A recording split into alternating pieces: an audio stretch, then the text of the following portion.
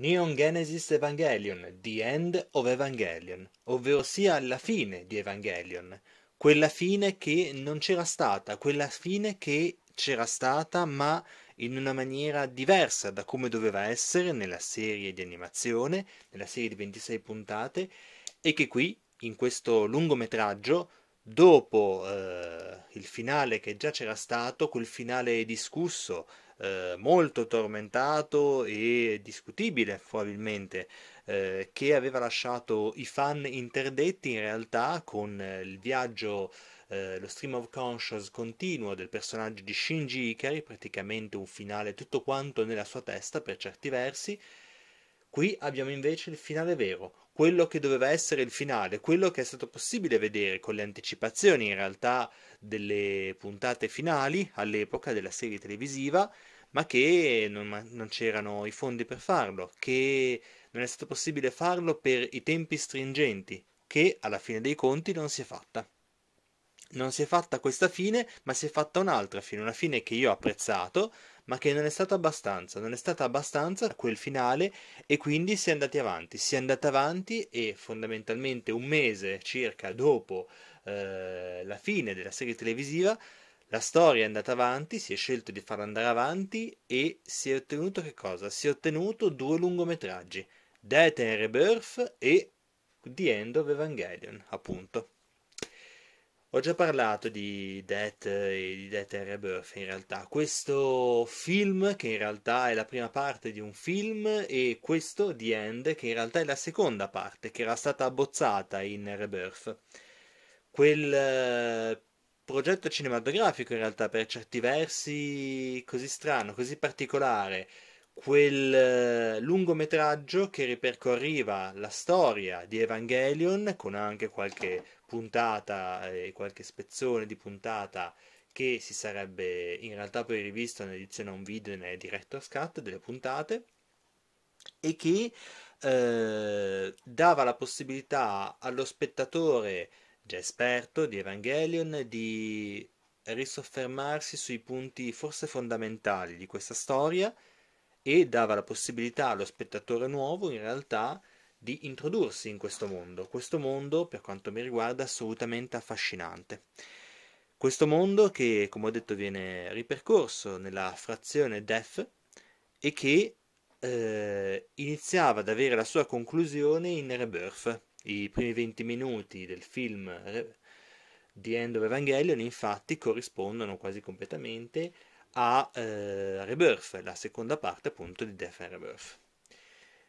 ma era talmente tanto il materiale che la storia doveva concludersi in maniera gigantesca. In maniera gigantesca si è avuto che cosa? Si è avuto quindi un film di quasi un'ora e mezza, un lungometraggio di animazione da un'ora e mezza che in realtà di fatto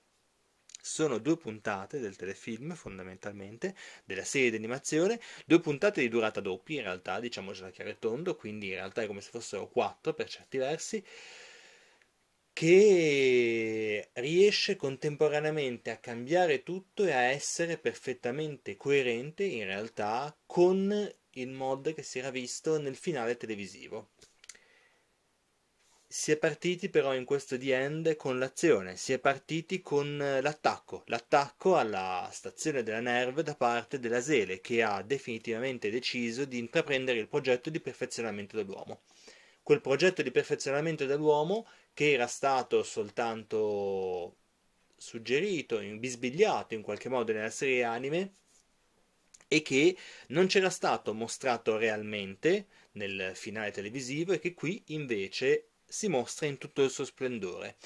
Il progetto per il perfezionamento dell'uomo, ovvero sia il desiderio di unire tutte quante le entità umane in un unico grande essere, per riuscire a superare le barriere della nostra anima, il nostro altifield, e riuscire quindi a essere eh, perfetti, felici e elevarci al massimo delle nostre possibilità. E quindi questo è il progetto del perfezionamento dell'uomo, è questo il progetto della Sele che eh, con le forze militari dà attacco eh, poco dopo la sconfitta dell'ultimo angelo, apparentemente il diciassettesimo, il buon Kaoru Nagisa, che eh, così poco era stato nella vita di Shinji Ikari, protagonista della storia di Evangelion, ma così tanto l'aveva sconvolto. E di fatti è, eh, a seguito della morte di Kaoru, un personaggio assolutamente sconvolto, quello di Shinji. Un personaggio assolutamente sconvolto che non riesce ad avere eh, il suo... non riesce a trovare sostegno in qualche modo dagli altri che sono in realtà l'unica forza che ha Shinji è un personaggio assolutamente drammatico, insicuro, debole che eh, si mette in condizione di fare quello che gli altri dicono perché da solo non ce la farebbe, perché viene ferito praticamente da qualsiasi cosa sia estranea a se stesso e al contempo stesso viene ferito da qualsiasi cosa sia interna a se stesso. È veramente drammatico il personaggio di Shinji e di fatti è drammatica la situazione iniziale, il suo turbamento. Non riesce a relazionarsi col prossimo, non riesce a eh, rendersi in qualche modo indipendente e forte, anche nei momenti in cui viene assolutamente richiesto che lui lo sia forte. Un personaggio drammatico che eh, praticamente nelle prime immagini di questa eh, nuova versione del finale di Evangelion con eh, il gesto della masturbazione davanti al corpo eh, mezzo catatonico fondamentalmente di Asuka eh, mostra tutto il suo tormento interiore, mostra tutto il disagio e con queste immagini capiamo che quello che stiamo vedendo è qualcosa di ancora diverso da quello che già abbiamo visto nella serie, perché c'è molto più tormento. Il livello di tormento che si riesce a scorgere con il personaggio di Shinji essenzialmente e che si riesce a percepire in questo film, in questo lungometraggio animazione, è qualcosa di diverso e di superiore, eh, di maggiore rispetto al tormento che possiamo aver visto secondo me nel finale della serie televisiva. È un tormento che apparentemente non ha pace e anche durante l'attacco, anche quando le persone attorno a lui muoiono, eh, prima fra tutte fondamentalmente Misato, quel personaggio meraviglioso che dà la vita di fatti fondamentalmente per Shinji e che per certi versi era la figura genitoriale che Shinji non ha avuta dal padre, Gendo, men che meno dalla madre ovviamente essendo mancata eh, quando era piccolo, è tutto drammatico, è tutto drammatico e è un personaggio, quello di Shinji, impietrito dal dramma che sta vivendo, incapace di reagire e di anche salvare le persone a cui in qualche modo, eh, più o meno in maniera positiva, più o meno in maniera sana, tiene.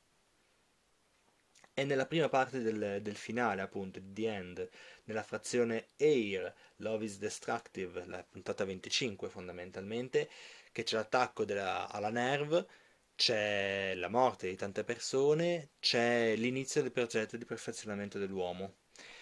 Inizio del progetto di perfezionamento anche ad opera però non soltanto della Sele, ma eh, questa associazione misteriosa, ma anche ad opera di Gendo, il padre di Shinji, che decide di andare avanti col suo piano visto nella serie, ovvero quella di innestare eh, Adam,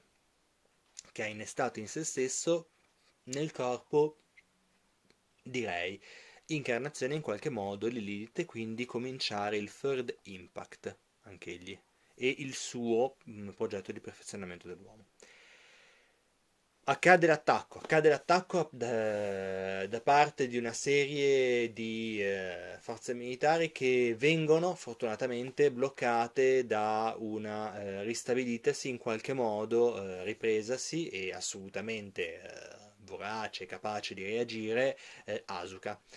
Asuka che però si ritroverà poi, dopo aver sconfitto le forze militari, ad affrontare dei nemici troppo forti per lei, ovvero una serie di nove Evangelion eh, pienamente artificiali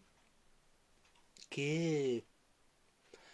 la, la, fanno a pezzi, letteralmente fanno a pezzi il suo Evangelion e la mettono completamente in difficoltà. Sarà eh, alla fine per cercare in qualche modo di reagire, di salvare Asuka, che il buon Shinji entrerà nell'era 01. Entrerà nell'era 01 troppo tardi però, Asuka è stata completamente eh, sconfitta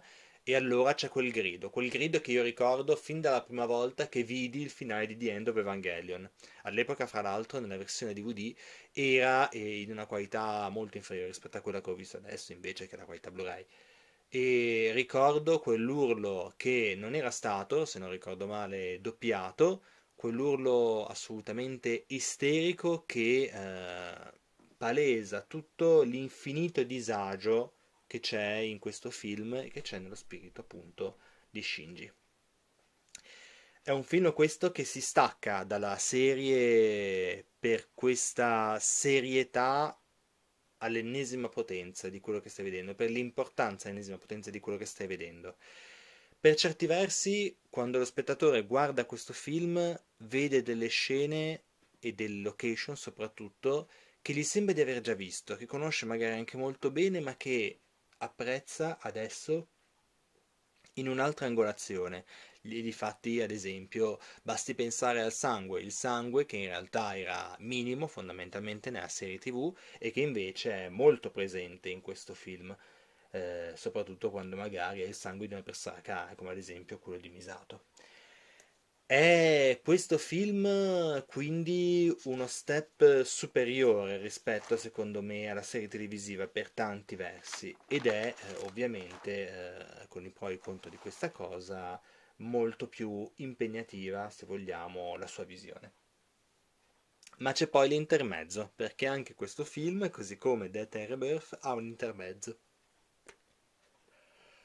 Anche questo film ha un intermezzo, un intermezzo che dura meno di quello di Death and Rebirth, in realtà sono titoli di coda che probabilmente potrebbero aver lasciato perplesso un pochettino il pubblico all'epoca perché eh, si vedeva un episodio apparentemente di nuovo terminare, manco di nuovo eh, si dovesse aspettare un altro lungometraggio, ma invece no, perché lungo, la, la fine di questo lungometraggio in realtà arriva subito dopo. Arriva la puntata 26, Air, arriva la puntata in cui si arriva finalmente che alla fine di Evangelion. La puntata 26 Ate Air eh, era Air Love is Destructive la 25 e la 26 è A te il mio animo sincero. I need you, infine. In questa puntata 26 abbiamo in realtà molti pochi elementi perché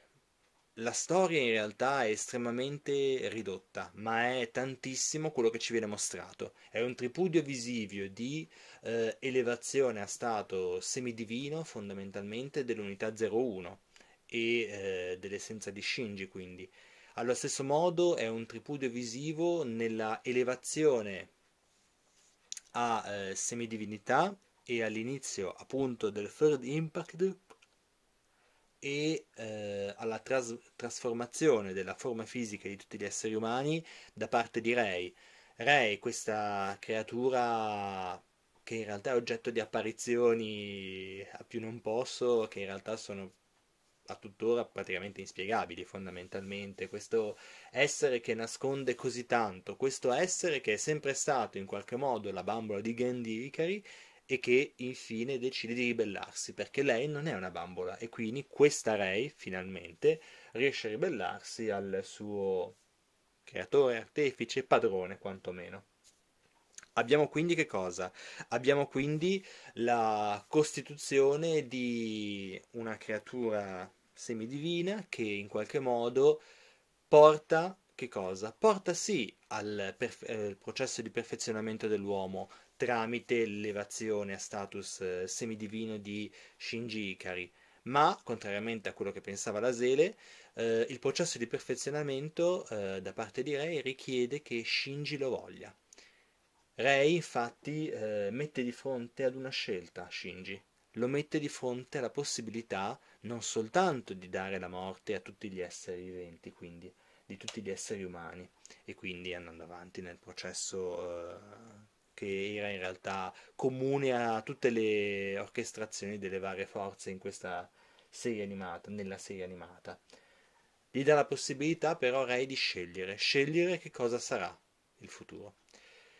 E quindi c'è uno stream of conscious e quindi comincia in realtà una di quelle cose che mi piace tantissimo, che è lo stream of conscious eh, nella mente di Shinji. Una stream of conscious che però supera ancora di più, se vogliamo, i limiti eh, tecnici, immagino, eh, che erano nella serie televisiva e che sfonda in realtà anche la quarta parete per certi versi. Perché? Perché abbiamo nel più intimo di Shinji abbiamo delle manifestazioni visive che corrispondono in realtà al mondo vero, al nostro mondo. Infatti eh, la, è stato scelto di utilizzare delle immagini eh, del mondo vero, ognuna in qualche modo forse ricercata, dense di significato, e che allo stesso tempo è anche un qualcosa di estremamente legato alla saga di Evangelion. Infatti addirittura sono state integrate delle immagini provenienti dalla, eh, dal pubblico che era al cinema quando eh, questi è andato a vedere il eh, lungometraggio precedente di Evangelion, ovvero Death and Rebirth. Quindi diciamo in qualche modo uno sfondamento infinito della quarta parete, appunto.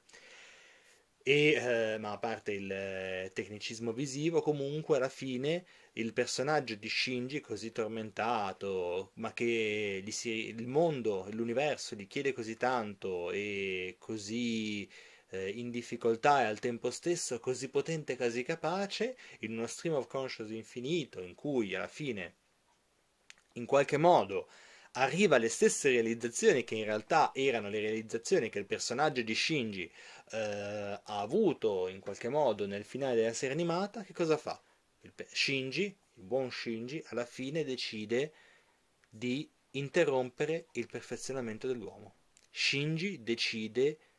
che alla fine, malgrado il tormento e tutto quanto, decide che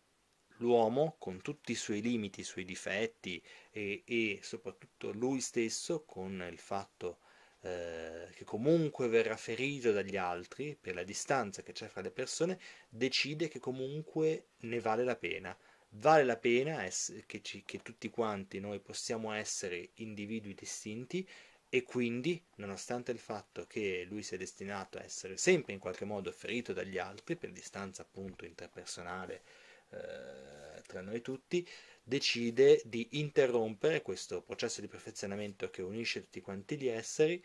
e quindi tutto si interrompe, tutto si interrompe, gli EVA, gli EVA artificiali, eh, così come l'EVA 01, finiscono nello spazio, dispersi, dis- disgregarsi fondamentalmente, ad annichilirsi e alla fine se le personalità riusciranno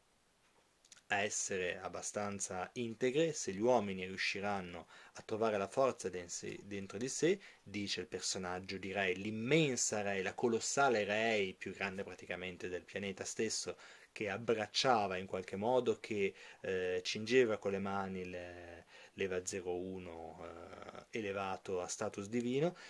alla fine anche lei si disgrega, si disgrega e anche lei, come praticamente tutto ciò che è rimasto del mondo, si eh, non disintegra, ma eh, va in rovina in qualche modo e torna sulla terra. Torna sulla terra e abbiamo che cosa? Alla fine abbiamo quello che in realtà è per certi versi un punto d'arrivo e per certi versi forse non lo è per forza un punto di arrivo ma una nuova partenza, ovvero eh, abbiamo un mare rosso, abbiamo un mare rosso, abbiamo delle onde, abbiamo uno Shinji che finalmente si è ricostituito in qualche modo e al suo fianco abbiamo una Asuka, una Asuka ferita, traumatizzata dalle brutte esperienze che ci sono state durante questo film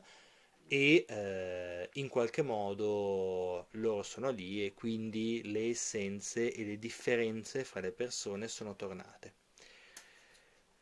È con una scena assolutamente famosa che mi ricordo mi aveva lasciato estremamente perplesso la prima volta che la vidi tanti anni fa e che ancora adesso credo che sia oggetto di discussione, come in realtà praticamente tutto quanto ciò che concerne Evangelion è oggetto di discussione,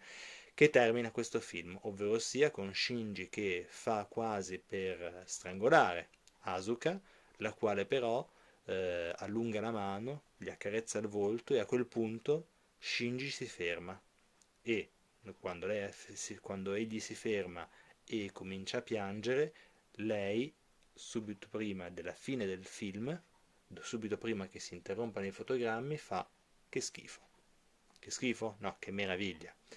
Che meraviglia di film, che meraviglia di film, che meraviglia Evangelion, che meraviglia questo film, The End of Evangelion.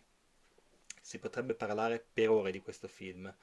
Io ovviamente, come faccio di solito quando faccio questi miei sproloqui, vado a spulciarmi quantomeno un pochettino la cara Wikipedia per cercare di eh, ricostruire magari alcune cose che mi sono perso, oppure magari cerco qualche curiosità ci sono stato qualcosa come un'ora soltanto su questo film, senza neanche approfondire in maniera così infinita, senza andare a sviscerare ogni singolo particolare che i link di Wikipedia, i reindirizzamenti di Wikipedia mi venivano eh, a disposizione. Però ce ne sarebbe da parlare per ore, ma anche soltanto per l'approccio visivo così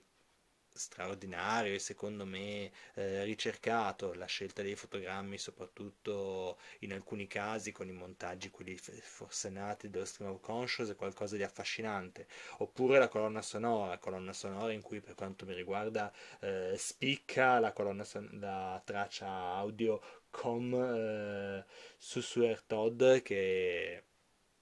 assolutamente affascinante e in realtà tutto di Evangelion eh, può essere oggetto di discussione. È veramente qualcosa di unico, secondo me, Evangelion, visivamente e concettualmente. Questo film che in realtà è pieno di significati, è pieno di significati che per certi versi è l'anima di Hideaki Anno, appunto il suo ideatore, che